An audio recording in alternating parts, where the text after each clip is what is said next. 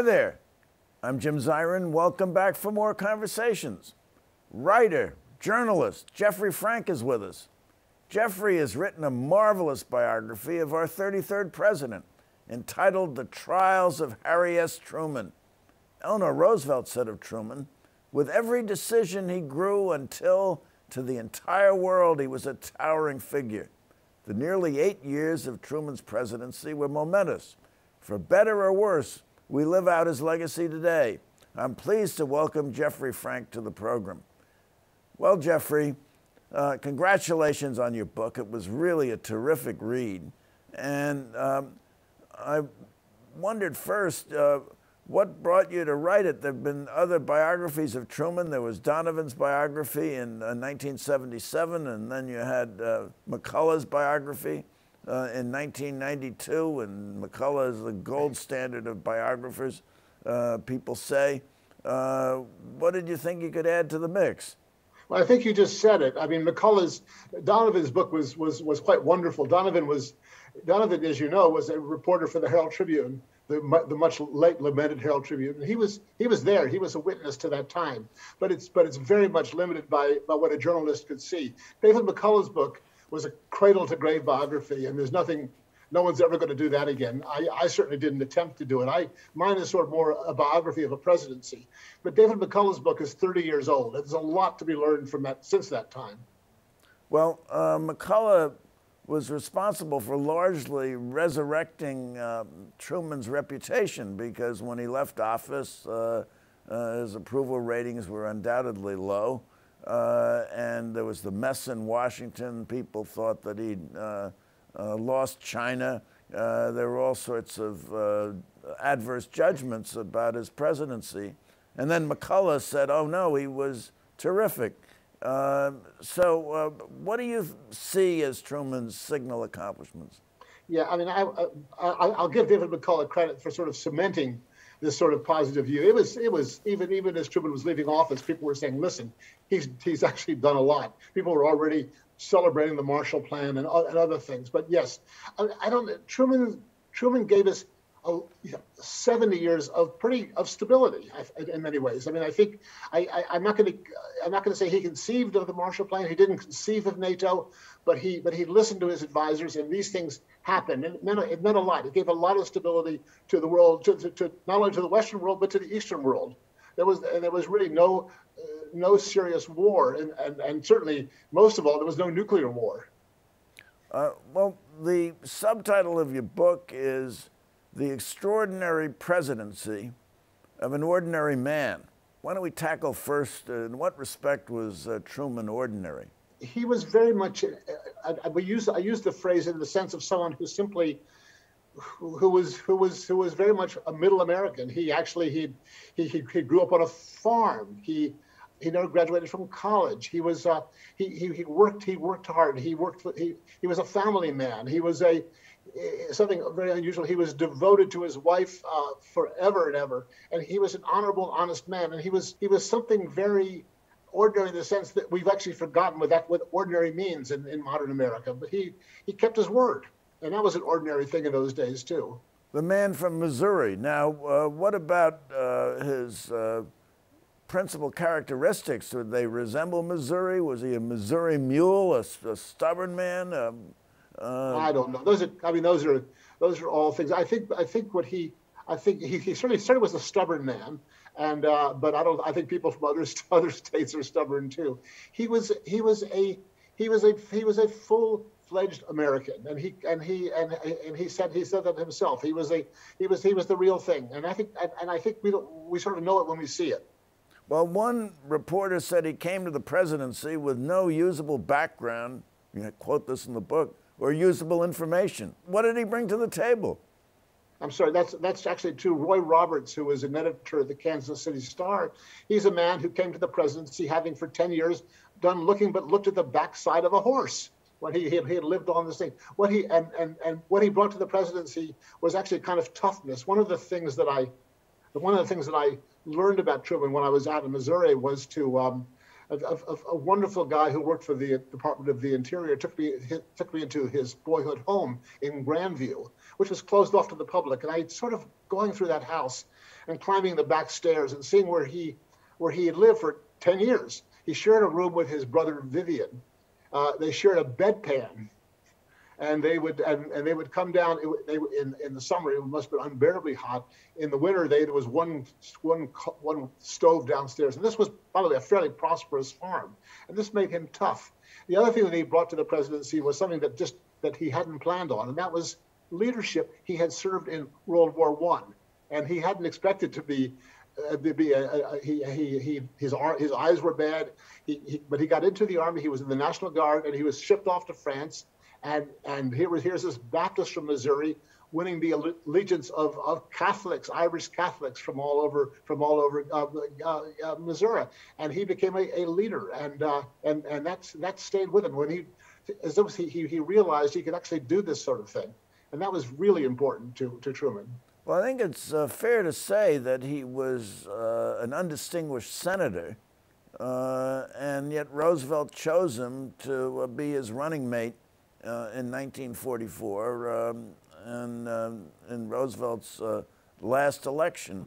Uh, and it was from Roosevelt's death, of course, that he ascended to the presidency. What impelled Roosevelt to choose him?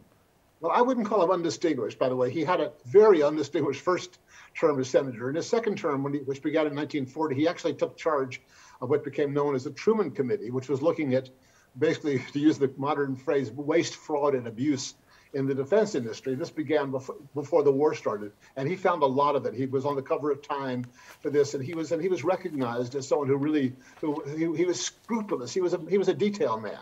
He was a detail man when he was when he was basically a, a commissioner in Missouri looking after road construction. So, but but Roosevelt also chose him for very practical reasons. He was trying to get rid of his vice president Henry Wallace, who was who had a reputation as unfairly, but basically sort of a borderline fellow traveler, and but basically a very sort of an unusual type. Someone, the social critic Dwight Macdonald's Dwight said he brought he brought he had a his belief system was a mixture of Protestantism, Buddhism, Zoroastrianism, and several other things, and that was and he had he was a very sort of odd guy. And then the other the other man, the other candidate, was a guy named James Francis Byrnes, to whom Roosevelt had actually promised the vice presidency, and then Roosevelt lied to him he realized that James Francis Byrnes, Jimmy Byrnes, had certain flaws, among the, among others that he was a he was a segregationist. So um, and uh, and so he would have lost the black vote, and he uh, he had opposed the uh, anti-lynching bill, the NAACP. The Walter White hated him anyway, so he he he was not going to be a good choice, even though Roosevelt never really. Roosevelt never, never was never really straight with him. So Truman was a great compromise choice. He was a border state senator he and uh, labor was he was okay with labor was okay with Truman. They didn't like Byrnes at all, and sort of and sort of moderate Democrats could could live with him. They couldn't have lived with, with Henry Wallace, and uh, and there was a real movement to get rid of Wallace after after after one term. So he was in a way. So Truman was Roosevelt's third vice president. John Nance Garner two terms, Wallace, Wallace one term, and then uh, and Truman. And then Roosevelt did him, did him no favor by naming Roosevelt by naming Wallace Secretary of Commerce. So Truman was stuck with a man who thought he should be president in his cabinet. So you had uh, strange bedfellows in the Democratic Party then. You had uh, uh, way to the left, Henry Wallace. Uh, there were whispers that he might be a communist. Of course, it was the time of the Red Scare and the paranoia. And uh, on the right, you had a basically a racist, uh, possibly segregationist, Jimmy Byrnes, very ambitious, wanted to be president. Uh, and so Roosevelt made his choice right down the middle. Yeah, and actually, Jimmy Byrnes wasn't wasn't even the extreme. The, the, the uh, Strom Thurmond, the uh, governor of South Carolina, was was a was sort of to the right of the Democratic Party, and as you know, he broke away from the party in 1948. But it was a, it was a very mixed mixed bag. It was, and of course, these people all became Republicans. I mean, the uh, this this wing of the party left, and uh, and they and it never came back. Let's talk about uh, Truman's uh, accomplishments. Uh, you referred to uh, the Marshall Plan, and actually, when you look at his accomplishments, uh, the issues he confronted are very much the issues we're confronting today in the uh, Biden administration and the world at large. But you mentioned the Marshall Plan, it was about $13.3 billion in grants and loans. This year marks the 75th anniversary of Marshall's speech at Harvard, uh, where he talked about uh, uh, aid uh, to the European economy because he thought that with, without economic strength, there would be no political strength and they couldn't actually stand up against the Russians. so the rivalries uh, among the uh, European powers and, and Russia uh, were there even under the Soviet Stalinism. Uh, but um, so we have the uh, Marshall Plan with great success. It raised, in four years, raised the European economies on some 32%. Uh, but was it Truman's view, or did he come to the view that it was the obligation of the United States to raise the economic strength of the world? And how do you compare it with the issues that confront us today in trade? Actually, I, I, one of the things I learned that really was really found interesting was that Truman Truman not only Truman wasn't actively pushing for the so-called Marshall Plan, but he didn't even know when when Marshall gave his speech at Harvard, he hadn't even shown Truman a copy of it. He actually apologized to him. I found a, a memo in which he in, in, in, which he said, I'm, basically, I'm sorry. And Truman said, Truman, who loved Marshall, thought he was a, he thought he was the, the, the greatest Roman of them all. So don't don't don't worry about it. But and Truman Truman was actually was the, the, the expense of the Marshall Plan worried Truman, but he quickly began to see the the value of it. And uh, and and uh, and so and yes, it was it was it was maybe the most I would say I would say it was the most important thing. Uh, uh thing that happened during the Truman the Truman's Truman's first term. Well, nothing. There's nothing like it. And and we've always. I, I, think we asked the question: What would a country with unlimited power and unlimited wealth do? And the United States answered that with with a wonderfully generous and pragmatic. I mean, it was useful to us too. Uh, policy, and that was the Marshall Plan.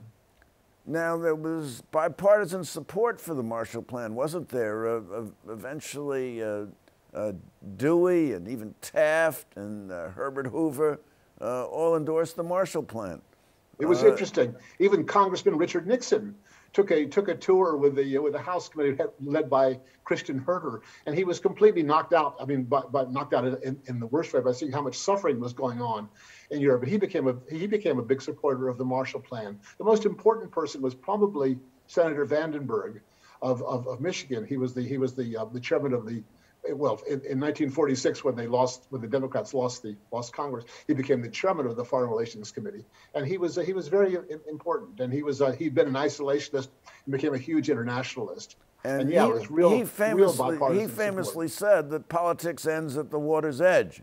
Yeah, and uh, so he supported Truman in a bipartisan foreign policy, and which emerged then for the first time, and that uh, basically continues uh, to this day, there's bipartisan support for uh, uh, Ukraine and our policies with Ukraine. So uh, yeah, a little wobblier, a little more wobbly than it used to be, and uh, that it's and and yeah, and we had a we had a sort of we had a period where our president seemed to be maybe a little bit too cozy with the R- Russian leader, and but that and but he's gone now. But no, I mean, but that that policy is wobbly but still intact. I, I like to think it is anyway.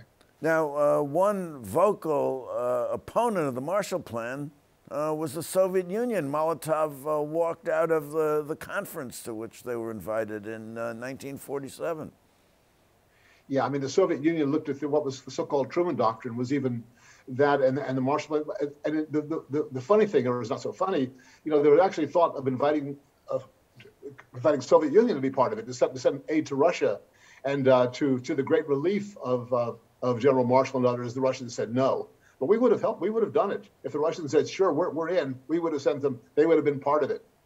Uh, you mentioned the Truman Doctrine. That uh, was Greece and Turkey, and it was uh, the United States' uh, willingness uh, to use uh, military force, really, to keep communism, Soviet communism, and the Russians out of other countries.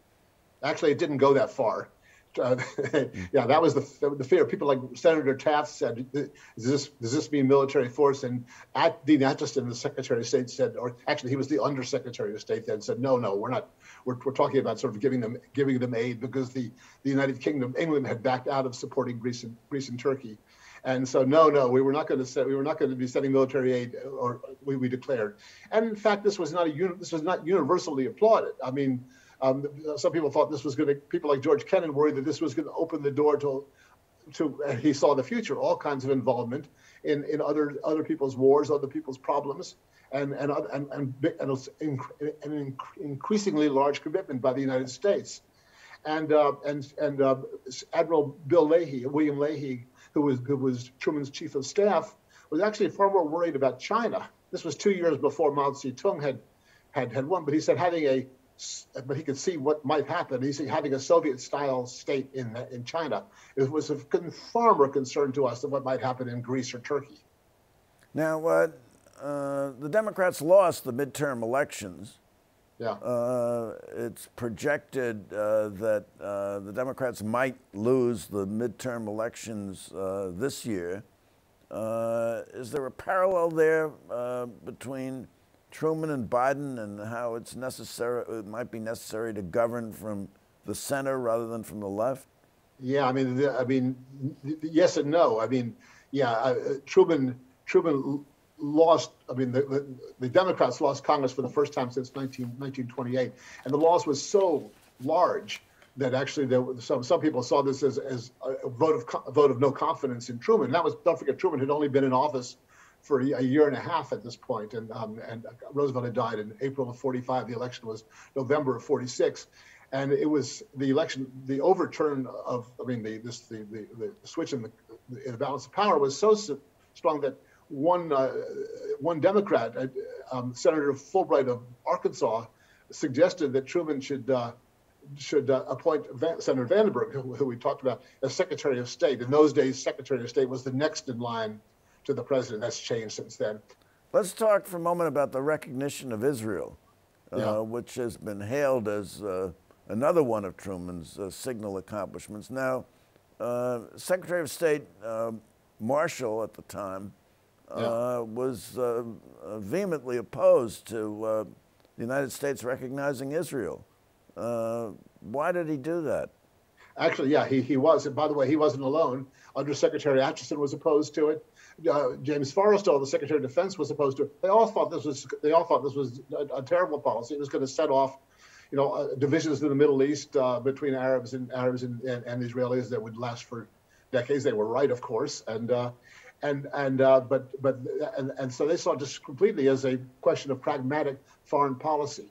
Truman once said, and I've I've I've, I've talked about this before, that there are two two people sitting in this seat in, in, in the White House. There's the president of the United States, and there's Harry Truman, and uh, and I think in the case of Israel, Harry Truman made that decision. It wasn't. It, it, it, was a very personal and somewhat emotional decision, and that's what. And that's what. That's what did it. He was. He was affected by uh, by uh, this, the sights of, of, refugees in, in Europe after the war. That and that, and there were there was a publicized. Uh, there was a famous ship that, was, that was trying to make its way from from Europe to Pal- then Palestine, and he was and he was very much um, influenced, I'm sure, by his friend Eddie Jacobson, with whom he opened up a haberdashery shop in in uh, Kansas City, and uh, and who, and Eddie Jacobson's got him to sort of meet with Chaim Weizmann, the president or the would-be president of Israel, and Truman was if all of this influenced Truman, even though Truman, by the way, became extremely impatient with Zionists and with the kind of lobbying he was getting, but nevertheless he he did it.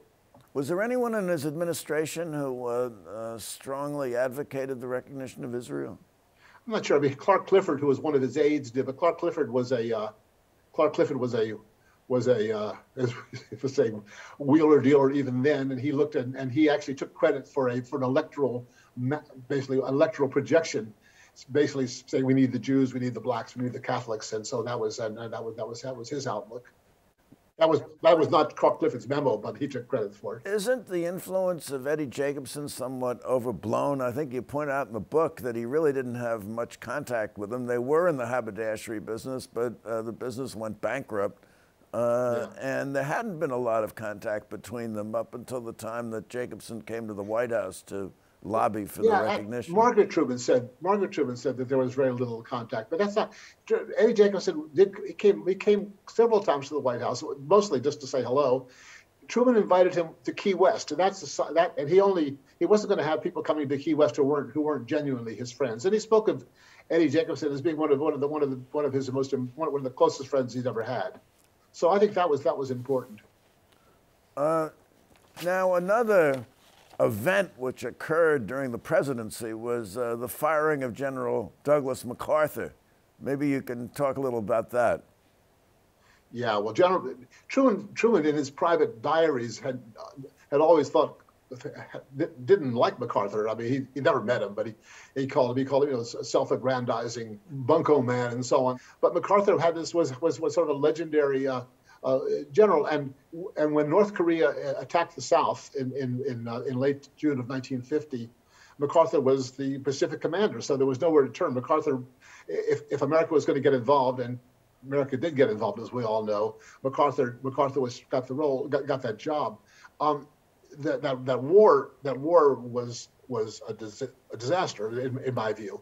It um, it could have it it it, um, it could have ended very quickly. MacArthur had one brilliant military move in September of 1950, the the so-called the Incheon landing, and that and after the the North Koreans had basically taken over the entire country the war turned around after that landing, then, and, and the South, the, the, the, UN forces led by MacArthur in the South, had basically turned the war around, and the war could have ended. And, and there were warnings to Truman from indirect warnings from China don't go any further, don't cross this, the 38th parallel, which had been established between North and South er, earlier. And, and MacArthur then thought after after Incheon, we could take over the whole country.